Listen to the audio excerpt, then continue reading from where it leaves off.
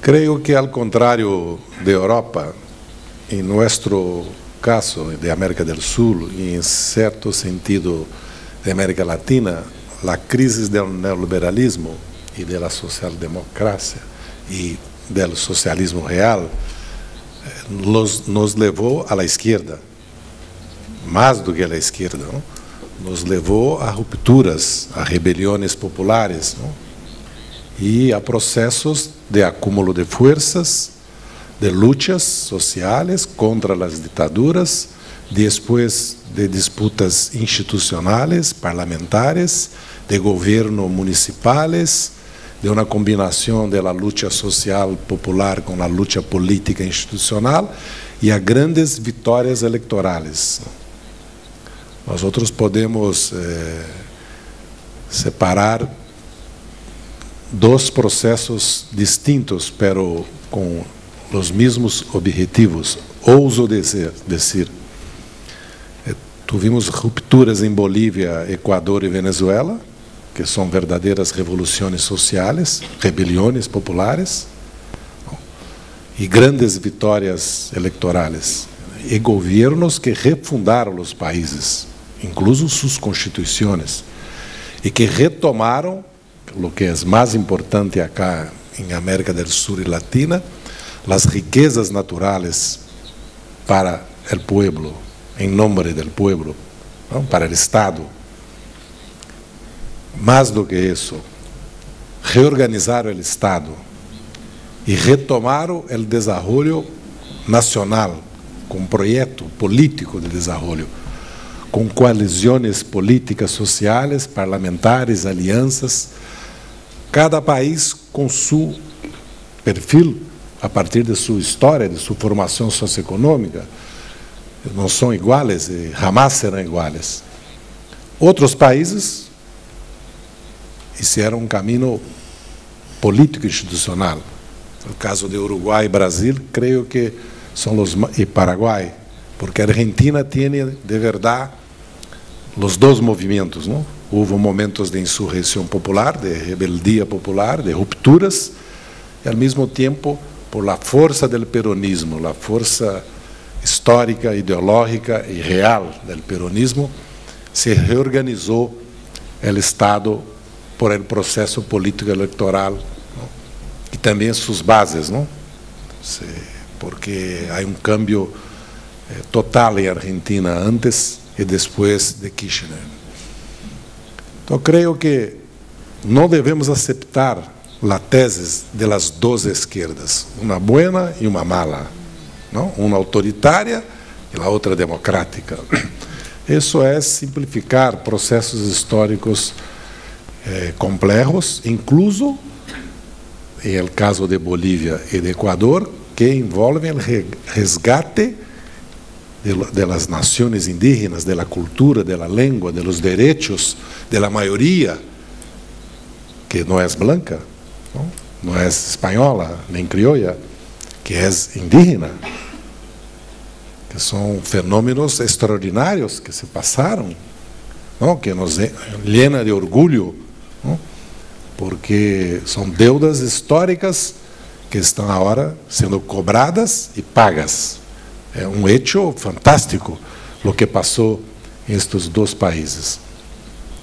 Claro que cada processo tem seu ritmo, suas contradições e não podem ser copiados. Mas o sentido general de, lo que passou em América do Sul em América Latina é evidentemente uma ruptura com o neoliberalismo, mas é, o que eu sempre defendi que é o mais importante, que é a retomada do projeto de desenvolvimento nacional, democrático e popular, que exige amplias alianças e uma combinação da luta popular e social com a governabilidade, não?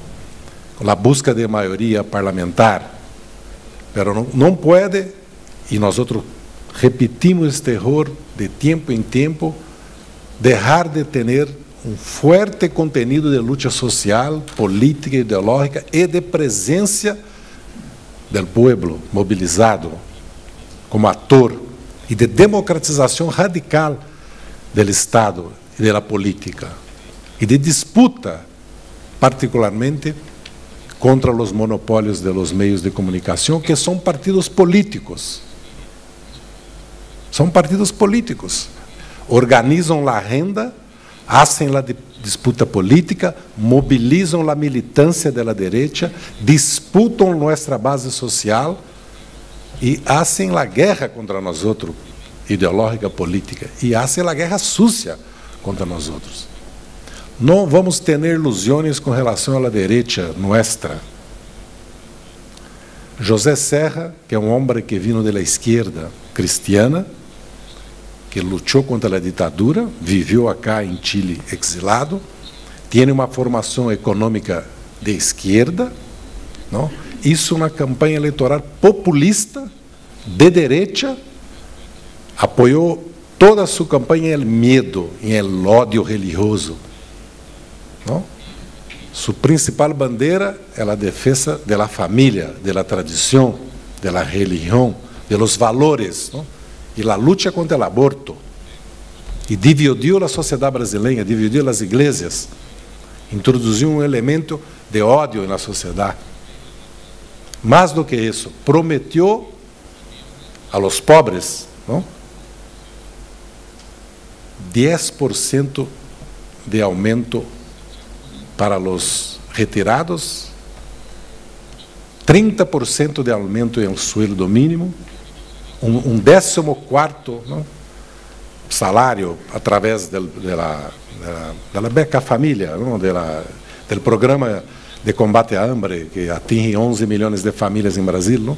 le pus um aumento, eh, construir 400 quilômetros de, de, metro, de metros, não? e por aí iba. Um milhão de casas, iba. Ou seja, necessitava de dois pressupostos em Brasil. Pero eles são que sempre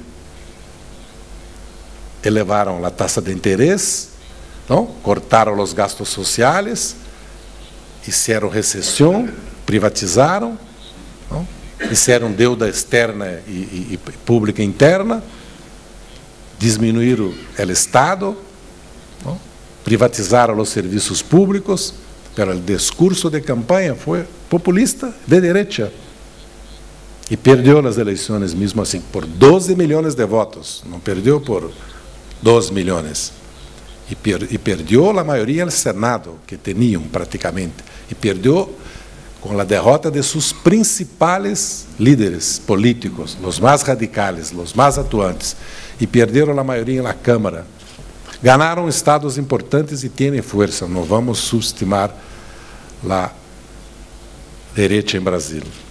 Não é centro-direita, é direita, porque o centro está com nós outros, é o centro do país, da sociedade e o centro político partidário parlamentar e, e a maioria do empresariado, particularmente os pequenos e medianos. Por quê? Por que está, estão com nós outros? Porque não é verdade que a política econômica de Lula é igual à de Fernando Henrique, porque a direita brasileira com a ajuda da mídia e com a cumplicidade de muitos de nós outros, adentro de nós outros, porque defendimos a estabilidade, os superávites fiscais, o controle da inflação corretamente e o ajuste em 2013 e 2004, porque o Brasil estava vivendo as consequências de oito anos de governo de Fernando Henrique. Nós outros recebemos uma herência, uma herência maldita, praticamente, em el social, em la economia, em el Estado. Com isso, plantearam que por que utilizávamos os instrumentos de metas de inflação, de superávit fiscal, não? e de política monetária, de política fiscal, nós outros temos a mesma política econômica. Quando nós outros reorganizamos o Estado, devolvimos à banca pública. A banca pública em Brasil é a metade da banca. Não é pouca coisa. E o crédito para a agroindústria, para a agricultura familiar, para a infraestrutura social, não? transporte, sanidade, habitação em Brasil, é de fundos. Em Brasil há fundos públicos importantes de pensão das empresas estatais, de seus empregados. Y tenemos el Banco de Brasil, el Banco Nacional de Desarrollo Económico, la Caja Económica Federal y el Banco Nacional del Nordeste. Tenemos uma estrutura, portanto, de, para financiar o desenvolvimento. E o pressuposto público, que hacía inversões de 5 mil milhões de dólares, hoje hace de 30 mil milhões de dólares por ano. E uma empresa solamente, Petrobras, hace de 40 mil milhões de dólares, que eles queriam privatizar. E hicimos política industrial e, principalmente, hicimos distribuição de renta. Lula e nós outros não elegimos Dilma por causa do Bolsa Família ou por causa do lulismo, elegimos porque criamos 15 milhões de empregos e vamos criar mais 10 nos próximos quatro anos. Porque 24 milhões de brasileiros saíram da pobreza. E 34 ascenderam à classe mediana. Porque hicimos um câmbio estrutural em desenvolvimento do país para o mercado interno. E quando vino a crise internacional, não elevamos a taxa de interesse não cortamos os gastos públicos como eles queriam, não aplicamos a recessão, hicimos o contrário, liberamos 50 mil milhões de dólares das reservas para as empresas, porque não tinha crédito mais internacional, 100 mil milhões de reais para irrigar o crédito interno que tínhamos los, por causa do compulsório bancário, barramos a taxa de interesse em cinco pontos, aumentamos o crédito em toda a economia, e o país não entrou em recessão e vai crescer sete pontos este ano e cinco nos próximos anos, seguramente. Ou seja, é outro modelo econômico. E isso passa em todos os países que avançaram. Pero nós outros já perdimos nas eleições, não foi somente em Chile. Já perdimos em Panamá, já perdimos em Honduras por um golpe,